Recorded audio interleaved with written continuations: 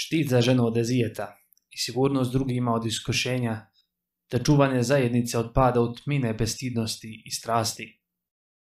Hijab Allah ga je naredio muslimanki i obavezao je da ga nosi pred svim muškarcima strancima, pa makar se radilo i o rodbini koji joj nisu mahremi. Hijab žene je ono što pokriva čitavo tijelo i ispunjava sljedeće uslove. Da bude gust i da se ne vidi kroz njega. Da bude širok, da ne uslikava ono što je pokriveno. Da ne bude sam po sebi ukrast, da ne bude namirisan, da ne sliči muškoj odjeći, da ne sliči noćni nemuslimanki, da ne bude od odjeće isticanja kojom se žena izdvaja od žena čiji je status poput njenog statusa.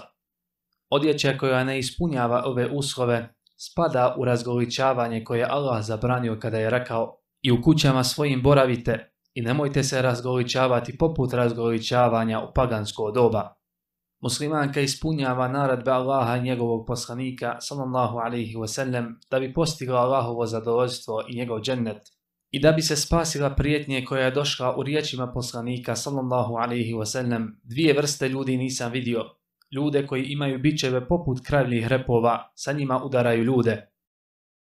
I žene koje su pokrivene, a otkrivene, u zabudi su i druge u to pozivaju.